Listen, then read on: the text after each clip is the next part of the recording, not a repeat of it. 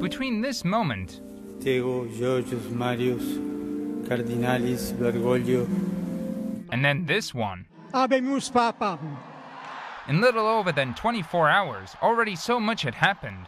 Even though the election was conducted behind closed doors, Vatican journalist from America magazine knows many of the events that occurred during this time.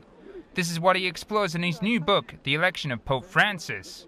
I've written it as a diary, starting on the day that uh, Benedict XVI announced his resignation, February the 11th, 2013, and ending on the day that Francis, up here in St. Peter's Square, began his, inaugurated his ministry.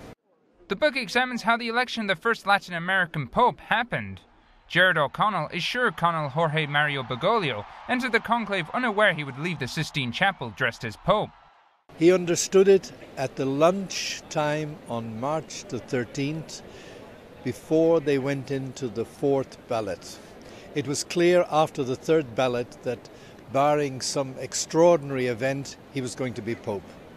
During the voting, the other most voted candidates were the Archbishop of Milan, Angelo Scola, and Canadian Marc Ouellet, prefect of the Congregation of Bishops.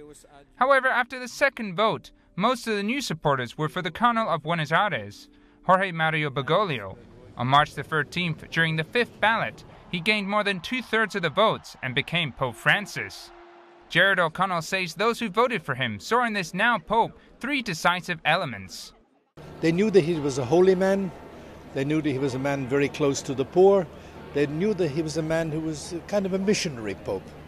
At 7.06 in the evening on March the 13th, the white smoke appeared announcing O'Connell had been elected Pope. An hour later, the world met Pope Francis. The keys to knowing how his story began are in the pages of this book.